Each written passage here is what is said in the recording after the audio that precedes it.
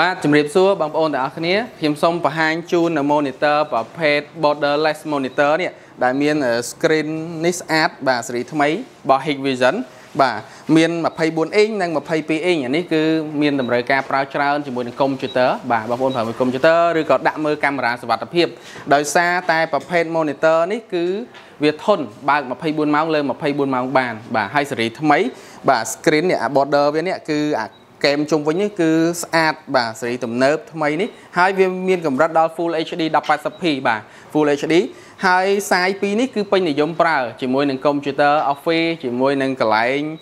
ធ្វើការផ្សេងផ្សេងដែលមានតម្រូវការហើយជាពិសេសនោះគឺប្រើសម្រាប់មើលកាមេរ៉ាសុវត្ថិភាពដែលដាក់នៅលើតុ Office សម្រាប់ប្រធានប្រធានមើលកាមេរ៉ាហ្នឹង ដោយសារតែវាធន់បើក24ម៉ោងលើ24ម៉ោងបានប្រភេទនេះបាទបងប្អូនប្រើទូរទស្សន៍มันអាចធន់ជាមួយ24ម៉ោងលើ24ម៉ោងបើកចោលទេបើបងប្អូនមានតម្រូវការប្រើកាមេរ៉ាណាអញ្ចឹងប្រភេទរបស់ Hikvision នេះគឺជាម៉ាកផលិតផលជាមួយនឹងកាមេរ៉ាសុវត្ថិភាពអញ្ចឹង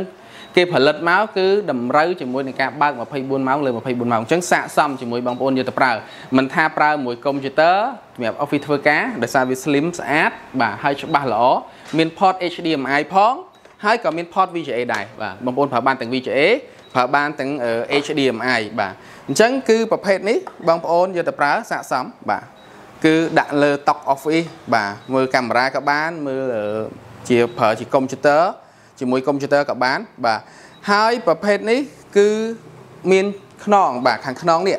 មានចាប់អញ្ចាំងបានណាបងប្អូនត្រូវការយកទៅចាប់អញ្ចាំងចាប់អញ្ចាំងបានទៀតមានជើងដាក់លើតុបែបហ្នឹងទៀតណាអញ្ចឹងគ្រប់ ស្ថានភាពបងប្អូនយកទៅប្រើបែបណាតម្រូវការបែបណាប្រើបានជាមួយ monitor ហ្នឹង